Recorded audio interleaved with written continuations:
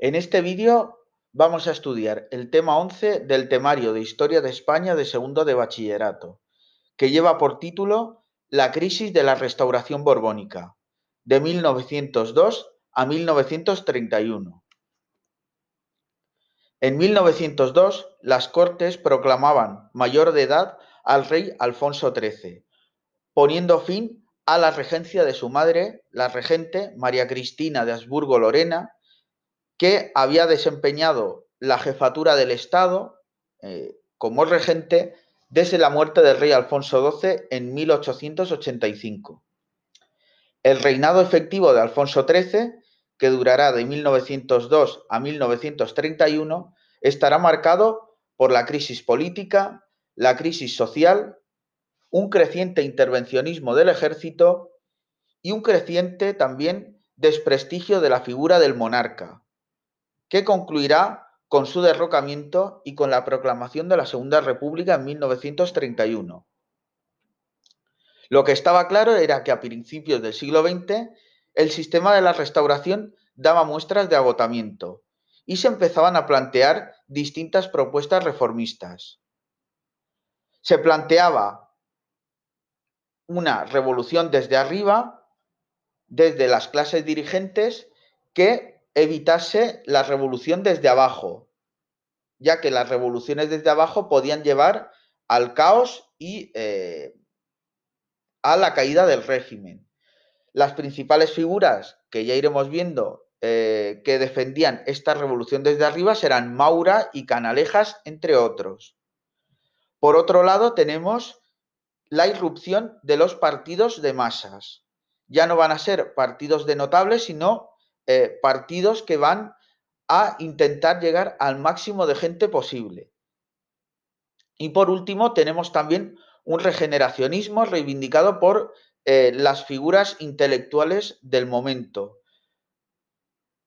Fundamentalmente tenemos la llamada generación del 98, entre los cuales podemos destacar a Machado, Unamuno, Baroja, Ganivet, Valle Inclán, Azorín o Ramiro de Maeztu. La revolución desde arriba estará defendida por algunas figuras dentro de los partidos dinásticos, que como recordamos son el Partido Conservador y el Partido Liberal. Dentro de las filas conservadoras, las principales figuras que van a reivindicar una reforma del sistema y que éste se convierta en una verdadera democracia van a ser, entre otros, Silvela y Maura, que llegarán a ser los dos presidentes del gobierno. Fundamentalmente, Antonio Maura se va a caracterizar en su lucha contra el caciquismo, en su empeño por acabar con la influencia de los caciques eh, en las elecciones y para ello va a promulgar una ley de administración local y sobre todo una ley electoral nueva, la de 1907, que pretendía acabar con la influencia de los caciques. No obstante, el resultado fue eh, el contrario, ya que en el artículo 29 de esa ley electoral se establecía que si en unas elecciones solo se presentaba un candidato, ese candidato quedaba proclamado de forma automática eh, ganador de las elecciones. Por lo tanto, la lucha de los caciques ya no será para eh, manipular las elecciones, sino para conseguir que el candidato oficialista, el candidato eh, del gobierno, sea el único candidato en liza para que automáticamente se le adjudique el acta, por ejemplo, de diputado. Y eso provocará que en muchos distritos electorales directamente ni se vote, ya que solo eh, se va a presentar un solo candidato. Para llevar a cabo su programa, Maura apelaba mucho a las masas neutras, es decir, lo que se podría decir eh, algo así como una mayoría silenciosa para intentar abrir el sistema. Desde la presidencia del gobierno también va a aprobar medidas proteccionistas, como por ejemplo la ley de industria de 1907 para proteger eh, a las empresas nacionales. Va a desarrollar una legislación laboral para proteger a los obreros entre otras cosas, se va a crear el Instituto Nacional de Previsión para eh, proteger los derechos de los trabajadores. No obstante, a Maura se le va a echar en cara su talante autoritario, ya que eh, durante su presidencia, su presidencia va a aumentar el intervencionismo en Marruecos, se van a enviar más tropas a, Marruecos y se van a desarrollar los hechos de la Semana Trágica, que estudiaremos más adelante. Por parte del Partido Liberal, la principal figura reformista va a ser Canalejas. Canalejas va a ser un firme defensor de la separación entre la Iglesia y el Estado. Por ello, durante su presidencia se aprobará la llamada Ley del Candado, que eh, establecía que dos tercios de las órdenes religiosas debían, eh, eh, dos tercios de los miembros de esas órdenes debían ser españoles, ya que recordemos que el sueldo de los eclesiásticos era pagado por el Estado. En esta época empiezan a venir a España clérigos de otros países, fundamentalmente de Francia y de Portugal, donde se están llevando a cabo leyes de separación entre la Iglesia y el Estado. Para poner fin a este abuso, el gobierno aprueba esta ley, que no es del agrado de la Iglesia.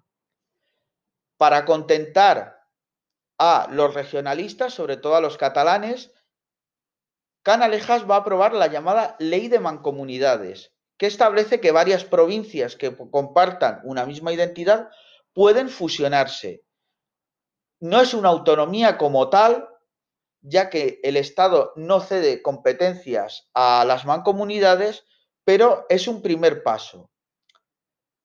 Esta ley de mancomunidades no será aprobada por Canalejas, que será asesinado eh, en 1913, sino que será aprobada por Eduardo Dato posteriormente, en 1914. Inmediatamente se creará la Mancomunidad de Cataluña, única región que llegó a constituirse en mancomunidad. Canalejas también reformó el sistema impositivo, redujo los consumos, que eran impuestos indirectos que grababan los productos básicos, y eh, creó el impuesto sobre la renta para potenciar los impuestos directos y que los más ricos eh, pagasen más. También aprobó una ley de reclutamiento en 1912 que puso fin al sistema de quintas, muy impopular y que afectaba sobre todo a las clases más populares. También instauró el llamado servicio militar obligatorio, más conocido popularmente como la mili, en línea con lo que estaba pasando en otros países europeos. No obstante, este programa reformista de Canalejas eh, se vio truncado con su asesinato a manos eh, del anarquista Pardiñas. En este esquema podemos ver el esquema de partidos en eh, el periodo del reinado efectivo de Alfonso XIII, entre 1902 y 1931. Eh, Tenemos por un lado los partidos dinásticos, conservador y liberal, pero al margen del sistema y que nunca llegaron al poder, tenemos otras tendencias que ya vimos en temas anteriores, como los carlistas, los nacionalistas, catalanes y vascos, los republicanos y el movimiento obrero. El republicanismo, muy debilitado en los primeros años de la restauración, ya que eh, después del sexenio revolucionario, del sexenio democrático, los republicanos habían quedado muy desprestigiados, muy divididos y muy enfrentados entre ellos, a principios del siglo XX la situación va a cambiar y el republicanismo, eh, digamos, va a, eh, va a recuperarse sobre, eh, electoralmente. Por un lado, tenemos la figura de Nicolás Salmerón, que había sido presidente de la Primera República, que con su Unión Republicana va a intentar aglutinar de nuevo a los republicanos. A nivel local, en algunas zonas de España, el republicanismo eh, va a volver a tener mucho peso eh, y mucho apoyo social. Por ejemplo, en Barcelona está el caso del Partido Republicano Radical, liderado por Alejandro Lerroux, un partido de carácter eh, fuertemente anticlerical y más adelante también eh, contrario al nacionalismo catalán, que se va a nutrir sobre todo del apoyo de los obreros catalanes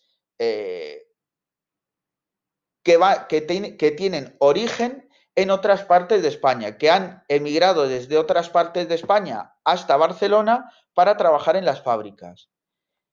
En Valencia tenemos el PURA, el Partido de Unificación Republicana Autonomista, de Blasco Ibáñez, también conocido como Partido Blasquista, de una ideología muy similar a la del Partido de Lerroux.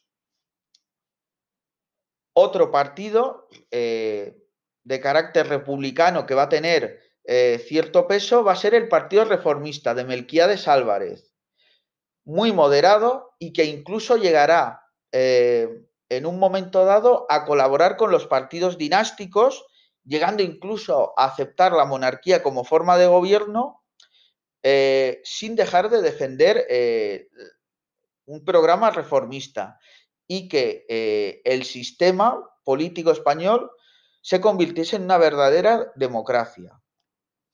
Aquí podemos ver un discurso de Alejandro Lerroux, quizá, quizá eh, su discurso más conocido, en el que anima a sus seguidores, a los que llama jóvenes bárbaros, a eh, entrar a saco, literalmente, en la civilización decadente, destruir los templos y, entre otras cosas, alzar el velo a las novicias y elevarlas a la categoría de madres. Es decir, como podemos ver, un discurso impregnado de anticlericalismo, pero también de eh, crítica al caciquismo y al sistema de la restauración. El carlismo y el tradicionalismo también van a seguir teniendo peso en algunas zonas de España. En este momento, el líder de la causa carlista es el autoproclamado eh, Don Jaime, que va a defender un acercamiento a los liberales. Y por ello más adelante se producirá una división del movimiento carlista. En, los años de la Primera Guerra Mundial, el carlismo va a tener un cierto momento de, eh, de fuerza debido a su apoyo a los imperios centrales. En 1919, Vázquez de Mella fundará el Partido Tradicionalista, eh, con una fuerte defensa del catolicismo el carlismo y el tradicionalismo van a tener su fuerza sobre todo en Navarra, País Vasco y el interior de Cataluña. No obstante, eh, en estos años de la restauración va a haber eh, una fuerte división interna entre carlistas, integristas y tradicionalistas, que eh, le va a restar peso electoral. No obstante, a partir de 1931 eh, con la llegada de la Segunda República, estos diferentes movimientos, estas diferentes ramas procedentes del carlismo, van a dejar apartadas sus diferencias y crearán la comunión tradicionalista para defender conjuntamente sus intereses. Por lo que respecta al nacionalismo y el regionalismo, el, movimiento regionalista de mayor peso será obviamente el catalán. En 1905 se crea la Liga Regionalista, primer gran partido catalanista. Sus principales líderes serán Prat de la Riba y Cambó. En 1906 tienen lugar los incidentes del Cucut, debido a eh, unas eh, caricaturas eh, que hacían mofa del ejército, unos militares asaltan la redacción del diario El Cucut y la destrozan completamente. Ante ello, el gobierno, en lugar de sancionar a los culpables, a los militares, aprueba la llamada ley de jurisdicciones, por la cual se establece que cualquier crítica o burla al ejército será eh, juzgada por tribunales militares en vez de por tribunales civiles, con lo cual eh, las personas acusadas quedan más indefensas. Y además eh, quedaba impune, eh, no solo quedaba impune, sino que encima se premiaba la acción que habían llevado a cabo los militares. Ante esto, los catalanistas digamos, aprovechando este descontento, van a crear una eh, alianza política llamada Solidaridad Catalana, que va a agrupar prácticamente a todos los partidos eh, que no son los dinásticos, la Liga Regionalista, los carlistas e incluso los republicanos, excepto eh, los radicales de Lerroux. Prácticamente, como decimos, todos los partidos excepto los dinásticos. Y en 1907 van a conseguir eh, llevarse eh, prácticamente todos los diputados en liza en Cataluña. Con lo cual, a partir de este momento, el turno dinástico se puede decir que desaparece en Cataluña. A pesar de que esta alianza Solidaridad Catalana se desintegró muy pronto, lo cierto es que a partir de ese momento la Liga Regionalista se convirtió en el gran partido catalán en 1914 se creó la Mancomunidad de Cataluña, creada por la fusión de las cuatro provincias catalanas, Lleida, Girona, Barcelona y Tarragona. Como ya hemos dicho antes, la mancomunidad no se puede entender exactamente como una autonomía, sino eh, simplemente como la fusión de provincias. La Liga Regionalista era un partido catalanista, pero esencialmente conservador, ya que era el partido sobre todo de la burguesía catalana. Así, vemos que en este periodo va a surgir también un nacionalismo de izquierdas, representado por Acció Catalana y también por Estat Català, el primer gran partido independentista. En el caso del País Vasco, el principal partido nacionalista será el Partido Nacionalista Vasco, creado por Sabino Arana, inspirado en el, con orígenes en el carlismo y con una fuerte impronta católica, pero también étnica. Su mayor peso lo va a tener en la provincia de Vizcaya, donde eh, va a disputarse el voto con los socialistas. Otros movimientos eh, regionalistas de menor peso que podemos mencionar son el valencianismo y el andalucismo. No obstante, eh, serán eh, movimientos muy débiles en comparación con el eh, nacionalismo catalán y vasco. En los años de la Segunda República veremos que el valencianismo y el andalucismo llegarán a tener un cierto peso, pero también muy limitado. Aquí podemos ver el chiste del cucut que provocó eh, el asalto de los militares a la redacción de la revista. Eh, básicamente es un chiste en el que se están riendo de las, de las derrotas eh, del ejército español en África. Y esto no, no sentó bien en el ejército y respondieron de forma violenta, asaltando la, la redacción, como decimos. En este mapa, en esta imagen, podemos ver la victoria eh, de Solidaridad Catalana en eh, las elecciones de 1907. A la izquierda vemos el cartel electoral y a la derecha el mapa. Podemos ver que ese año fueron los conservadores los que eh, ganaron las elecciones a nivel nacional, pero en las cuatro provincias catalanas la lista más votada fueron, fue Solidaridad Catalana. Podemos ver también en el caso de eh, Euskadi y Navarra el peso que tenían los tradicionalistas. En esta imagen podemos ver a los cuatro presidentes de la Mancomunidad de Cataluña. El que está arriba es Prat de la Riva. Aquí vemos a Sabino Arana y la bandera vasca, la Icurriña, que fue invención del propio Arana.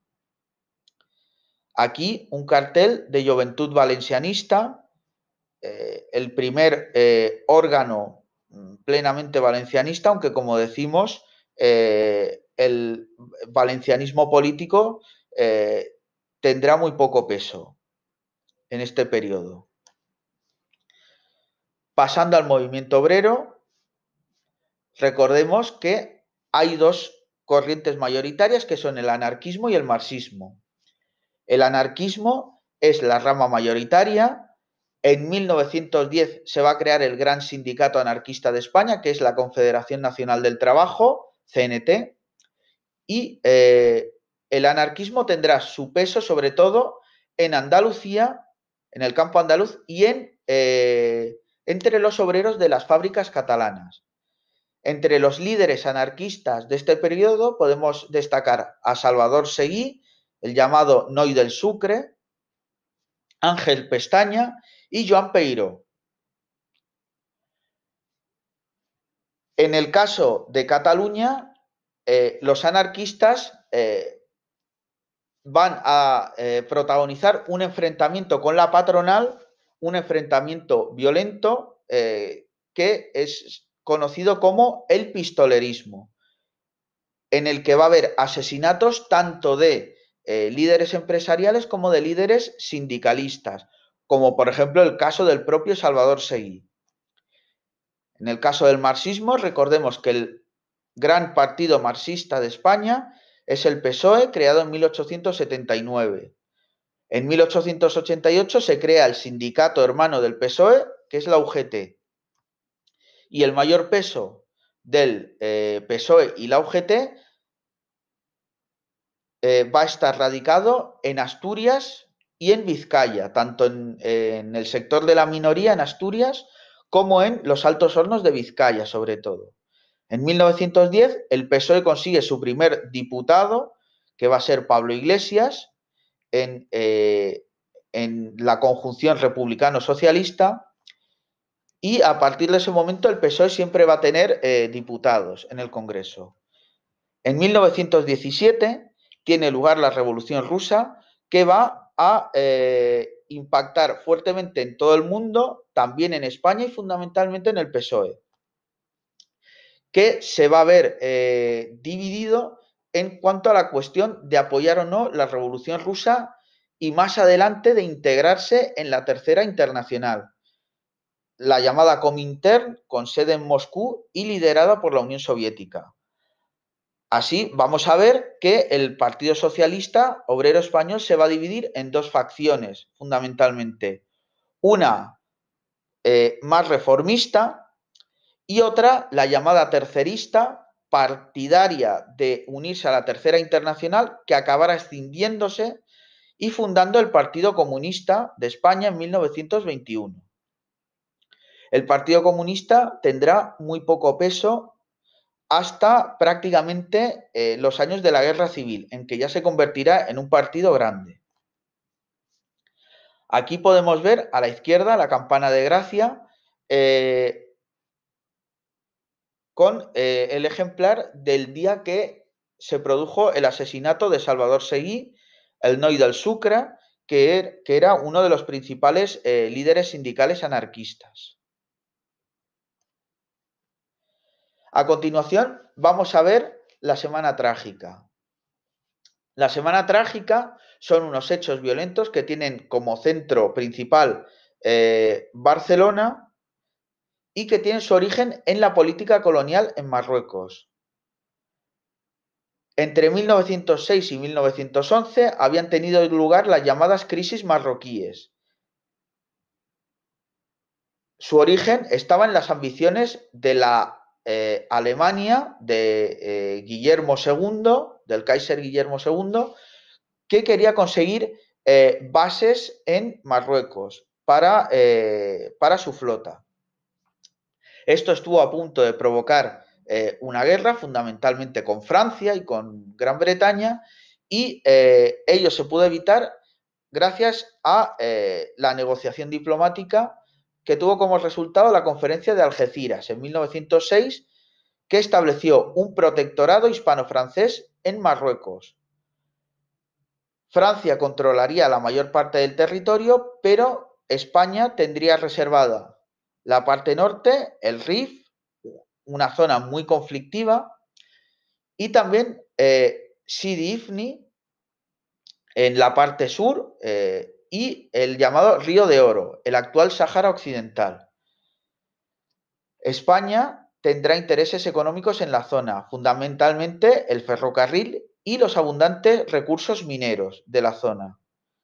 No obstante, deberá enfrentarse a eh, la resistencia indígena.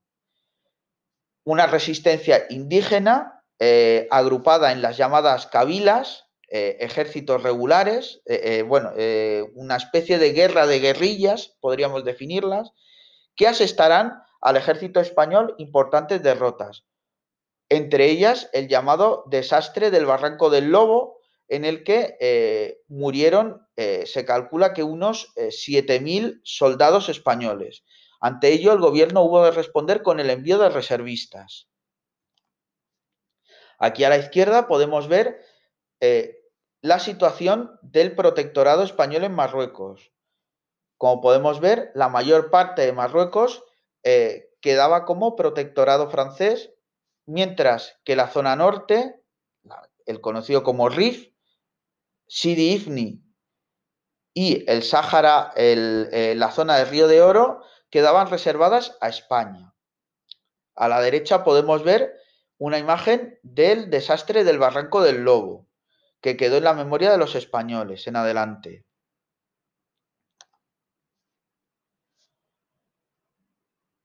El detonante de los disturbios en Barcelona tuvo lugar en el puerto, en el momento en el que estaban embarcando esos reservistas eh, y eh, mientras se estaban despidiendo de sus familias. Se cuenta que también había eh, damas de la alta sociedad repartiendo estampitas religiosas a los reservistas que partían hacia Marruecos y todo esto se veía como una provocación. Y finalmente eh, ello provocó disturbios en el puerto.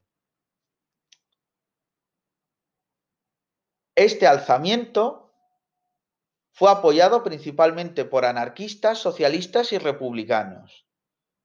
Las causas de este alzamiento fueron, como ya decimos, la guerra de Marruecos, el impopular sistema de quintas, que recordemos que afectaba sobre todo a las clases más pobres, ya que eh, eh, las personas que tenían dinero podían librarse pagando eh, una cantidad de dinero. Y también no hay que olvidar el anticlericalismo presente en las masas obreras de Barcelona, sobre todo gracias, entre otras cosas, a los discursos de Lerroux, auténtico líder de las masas obreras eh, hasta el punto de que era denominado eh, em, el emperador del, del paralelo. El 18 de julio de 1909 tienen lugar los primeros incidentes en el puerto de Barcelona y el 26 de julio se eh, convoca una huelga general. Por toda Barcelona, por toda la ciudad, se crean barricadas y arden numerosas iglesias. El gobierno en ese momento liderado por Maura, declara el estado de guerra y envía al ejército. Hay una violenta represión, eh, los hechos de la Semana Trágica concluyen con más de mil muertos y eh, se decretan 17 condenas a muerte, entre ellas la del intelectual Ferrer y Guardia. Aquí podemos ver una imagen de Barcelona durante los días de la Semana Trágica, las columnas de humo son las iglesias que ardían. La ejecución eh, de Ferrer y Guardia, fundador eh, de eh, la llamada Escuela Libre, de carácter anarquista y librepensador, y provocó muchas protestas a nivel internacional ya que se consideraba que Ferrer y Guardia era víctima eh, de la intolerancia. Y en adelante quedaría como eh, un mártir de, eh, de la causa librepensadora y anarquista. Como consecuencias políticas, la Semana Trágica provocó la caída del gobierno.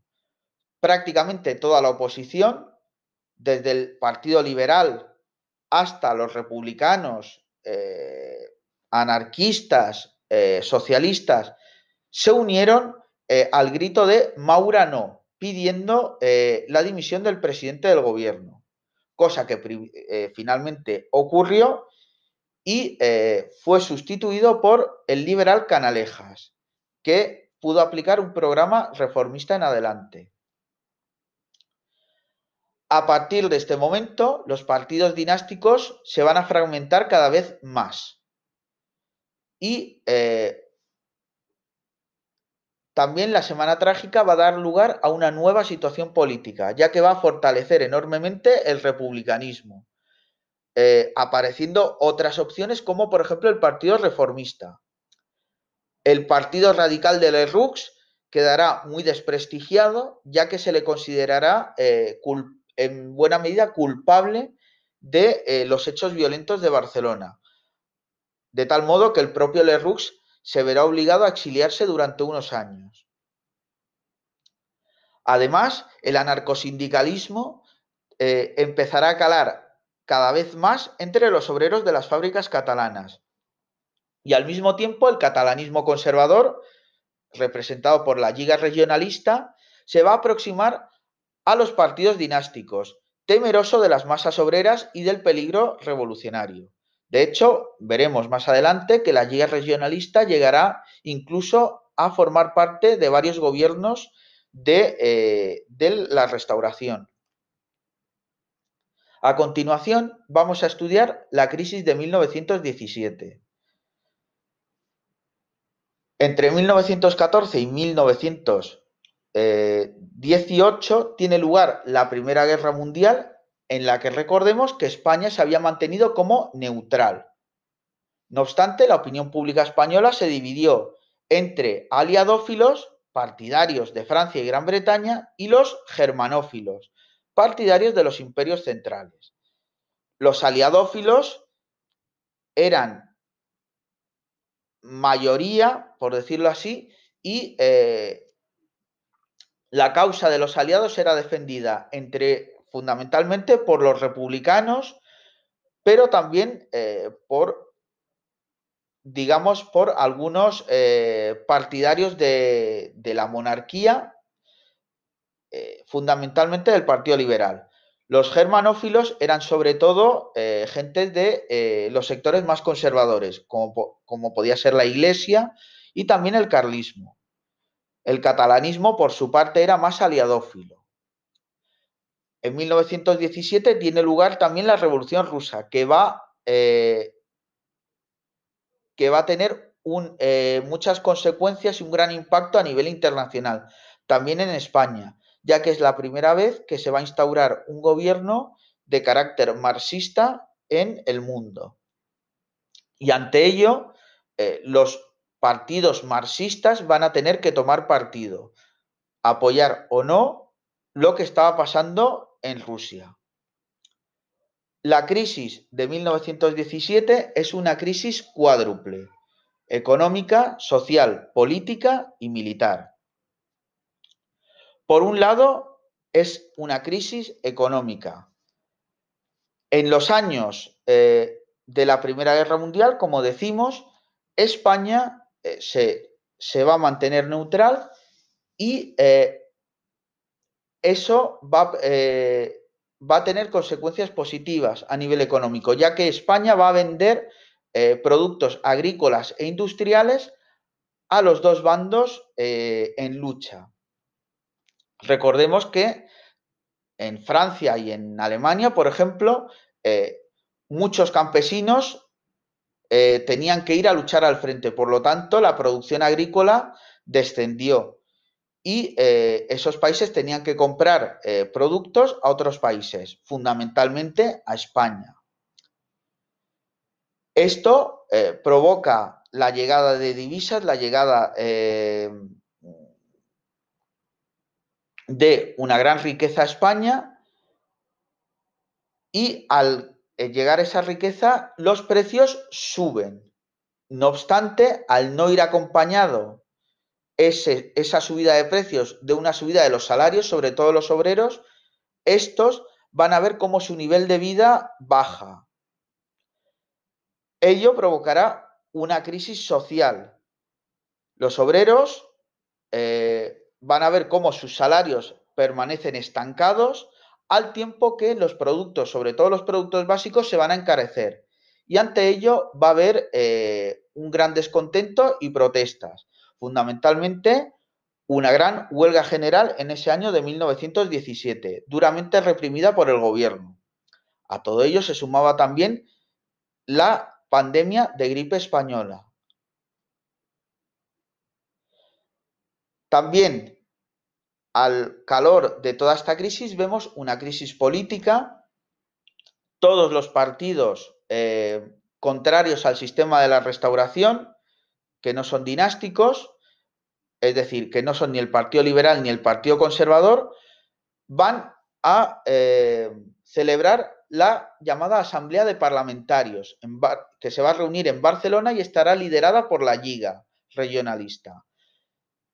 En esta Asamblea de Parlamentarios, a la que van a acudir eh, diputados de todas las tendencias, excepto del Partido Conservador y del Partido Liberal, se va a pedir una reforma del sistema en el sentido, en el sentido de eh, convertir al sistema en una verdadera democracia y se va a reivindicar una reforma de la Constitución.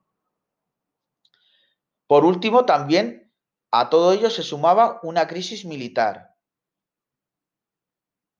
Los militares empiezan a protestar también por la corrupción del sistema y se van a formar las llamadas juntas de defensa, que en un primer momento van a apoyar eh, las demandas de reforma del sistema, pero ante las em, ante el cariz que, adoptan los acontecimientos y ante el peligro de una revolución, estas juntas de defensa eh, se van a hacer conservadoras y finalmente acabarán reprimiendo eh, los intentos de reforma. Estas juntas de defensa están también en el origen de la dictadura de Primo de Rivera. La división entre aliadófilos y germanófilos tenía también eh, su eh, transposición a lo que ocurría en Palacio, en la propia Casa Real, ya que la, reina madre, la madre del rey Alfonso XIII, eh, María Cristina de Habsburgo, era austrohúngara y su esposa, Victoria Eugenia de Battenberg, era, era inglesa. Por lo tanto, estas disputas se ven también en la propia Casa Real Española. El propio rey, em, a pesar de que tenía ciertas simpatías por eh, Francia y Gran Bretaña, logró mantenerse neutral y apoyó sobre todo los esfuerzos de la Cruz Roja para eh, ayudar en el tema de los prisioneros de guerra, que entre otras cosas pudiesen ponerse en contacto con sus familias. Y esto le fue reconocido eh, posteriormente, Alfonso XIII. Aquí podemos ver eh, periódicos donde se informa y se convoca la huelga general de 1917. Por un lado, La Vanguardia, el diario oficial de la burguesía catalana, y por otro lado, El Socialista, órgano oficial del Partido Socialista Obrero Español. En estos años tiene lugar también la pandemia de gripe española, que recibe su nombre no por el hecho de tener su origen en España, sino porque la prensa española era la única que, al estar libre de censura, podía informar de los casos eh, que se iban produciendo. De tal manera que en otros países, sobre todo los países que estaban eh, inmersos en la Primera Guerra Mundial y donde existía censura de prensa, se afirmaba que esta gripe eh, era una extraña enfermedad que estaba sucediendo, pero únicamente en España, cosa que era mentira, ya que eh, ocurría en otros países y de hecho los propios soldados en la Primera Guerra Mundial ayudaron a que se propagase.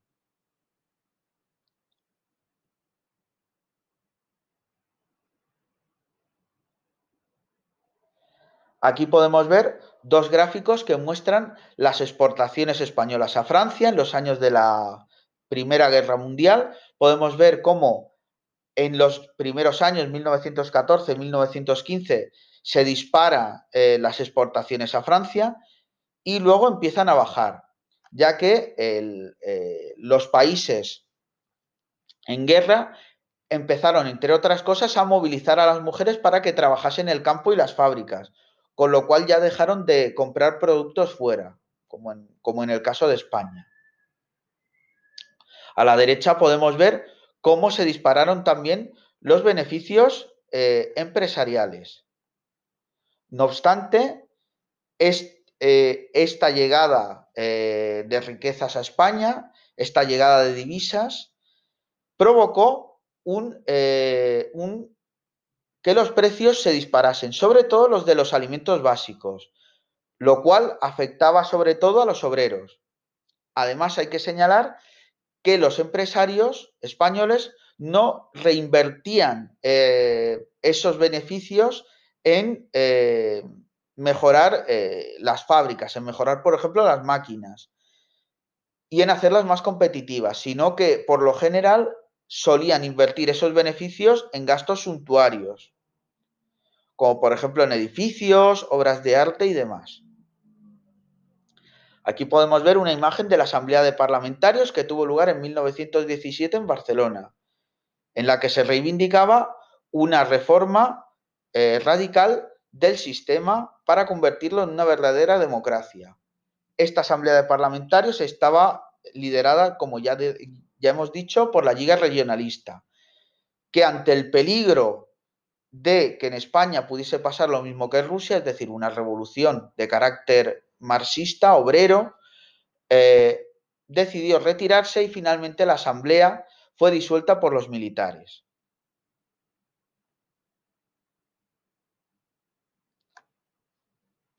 A partir de 1917 se aceleró la descomposición del régimen parlamentario. Después del boom económico que tuvo lugar en los primeros años de la Primera Guerra Mundial, tiene lugar en España una profunda crisis económica, que va acompañada de una agitación social.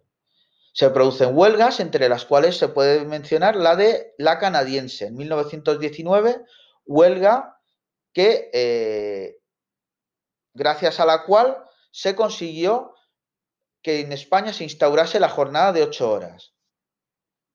En estos años tiene lugar el llamado pistolerismo en Cataluña, el enfrentamiento entre los sindicalistas y la patronal. Ante ello, el gobierno y también los militares responden con una gran represión. El principal cabecilla de esta represión será el gobernador militar de Cataluña, Martínez Anido, que eh, será un destacado político posteriormente durante la dictadura de Primo de Rivera. En estos años se va a crear también el llamado somatén, unos cuerpos de carácter, se puede decir, eh, parapolicial, eh, en el que eh, burgueses o pequeños empresarios, tenderos, se agruparán para ir armados y poder defender sus intereses, sus negocios e incluso reprimir a los líderes sindicalistas. El periodo de 1917 a 1920 es conocido por toda esta agitación social como el trienio bolchevique, debido a la influencia de la Revolución rusa. Además de, eh, eh, la inestabilidad social que vamos a ver en Cataluña, vamos a ver inestabilidad en el campo andaluz, manchego y extremeño, con ocupaciones de tierras por parte de los jornaleros. Aquí podemos ver imágenes de la huelga de la canadiense que, como decimos, eh, provocó que en España se instaurase la jornada de ocho horas, una vieja reivindicación del movimiento obrero. Aquí a la izquierda podemos ver a Martínez Anido, gobernador militar de Cataluña, líder de la represión del movimiento obrero, y a la derecha uno de los llamados somatenes. La palabra somatén tiene su origen, tendría su origen en el catalán somatens. Estamos atentos.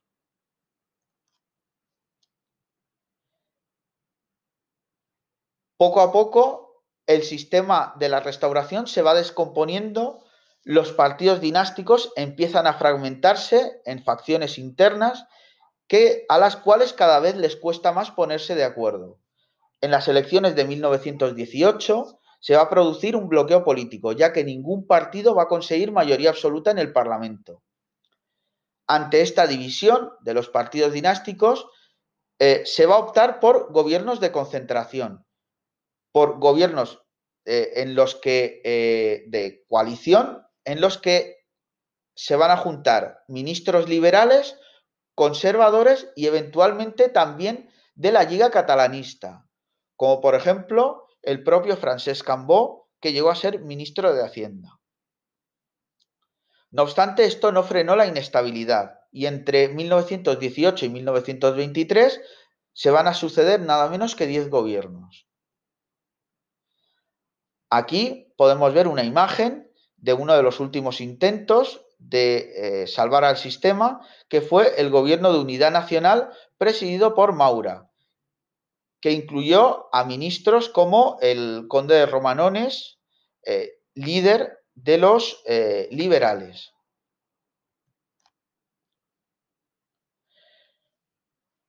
En 1921 tuvo lugar el desastre de Anual en Marruecos, en este momento el ejército español estaba dividido en dos facciones. Por un lado, los africanistas, eh, que eran los militares que luchaban en África y que defendían el ascenso por méritos de guerra, lo cual para ellos era más fácil ya que ellos se encontraban en un escenario de guerra permanente contra las cabilas rifeñas. Frente a los africanistas estaban los peninsulares, que defendían el ascenso no por méritos de guerra, sino por antigüedad. En 1921 tiene lugar el desastre de Anual, una humillante derrota del ejército español frente a las cabilas rifeñas en la que mueren 13.000 soldados españoles, incluido el general Silvestre. Este desastre, que superaba con creces el, anterior desastre del Barranco del Lobo, provocó violentas protestas entre la opinión pública.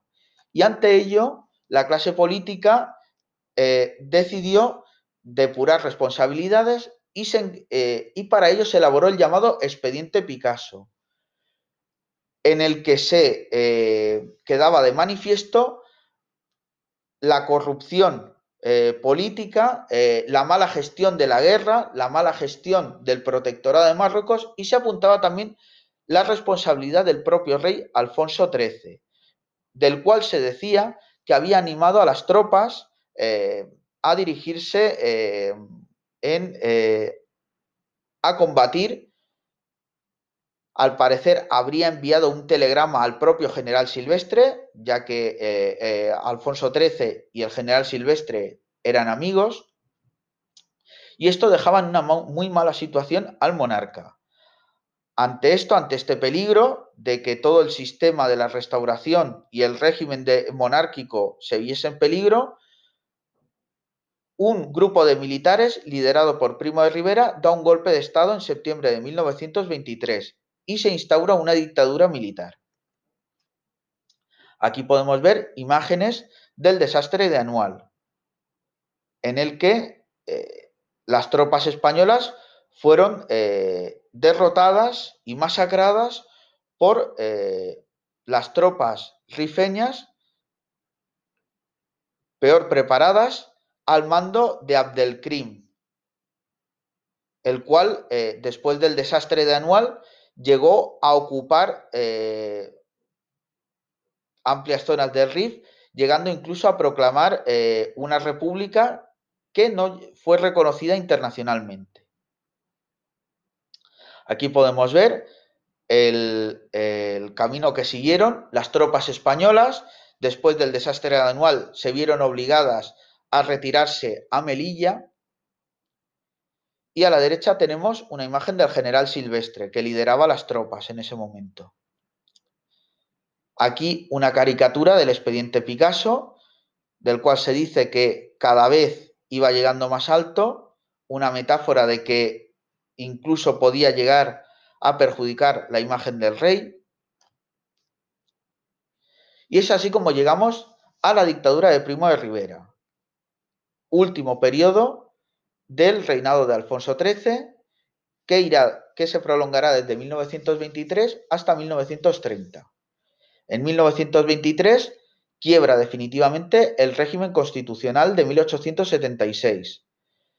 Hay un último intento de reforma constitucional con el gobierno del liberal García Prieto, que intenta una eh, reforma constitucional eh, que limitaba el poder, el poder, del rey, que profundizaba en la separación iglesia-estado, eh, e incluso se, se intentó aprobar una nueva ley electoral para acabar con el caciquismo y, e instaurar una democracia verdadera, pero la oposición del rey, del ejército y también de la iglesia provocaron el fracaso de este intento de reforma.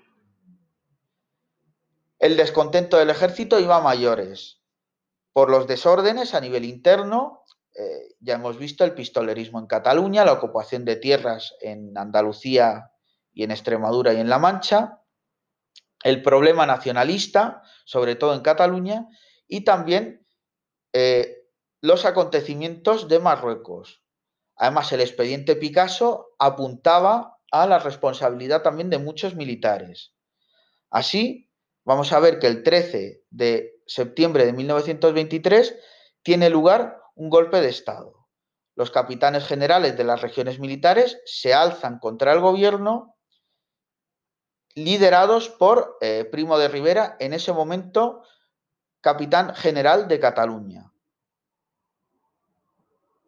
El apoyo del rey a este eh, alzamiento fue decisivo, provocando la dimisión del gobierno y la formación de una junta militar, un nuevo gobierno conformado únicamente por militares y presidido por Miguel Primo de Rivera.